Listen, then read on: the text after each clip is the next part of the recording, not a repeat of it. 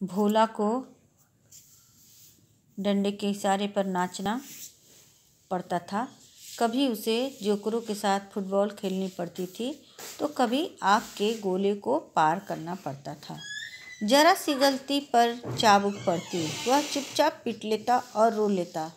भोला जब सर्कस में काम करता था तो भोला को डंडे के इशारे पर नचाया जाता था।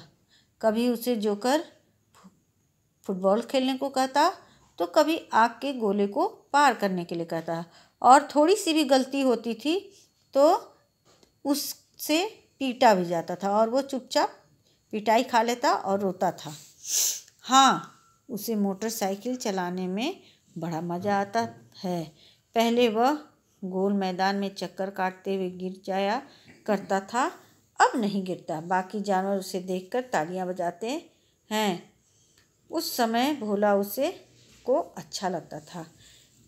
इन सारे सर्कस के कार्यों में उसे मोटरसाइकिल चलाना बहुत अच्छा लगता था और उसे मज़ा आता था।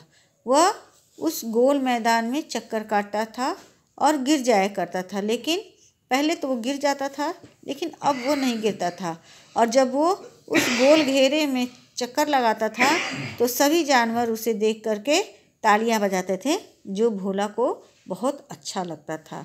तो आपने देखा ना कि भोला जानवर, भोला जो था भालू, वो किस तरह से सर्कस में रहता था, उसके मन के मुताबिक काम भी नहीं लगता था और इसलिए उसके सारे दोस्त उससे कहा करते थे कि उदास मत रहा करो।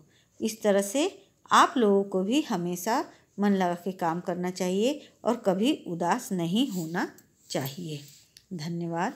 आप लोग इस पाठ को रीड करेंगे और रीड करने के बाद इसमें जो कठिन शब्द शब्द अर्थ मैं भेजूँगी, उसे हिंदी फ़र्स्ट की कॉपी में डेकोरेट करेंगे और डेकोरेट करके तब कठिन शब्द शब्द अर्थ लिखेंगे और उसके बाद नए पेज पे प्रश्न उत्तर लिखेंगे।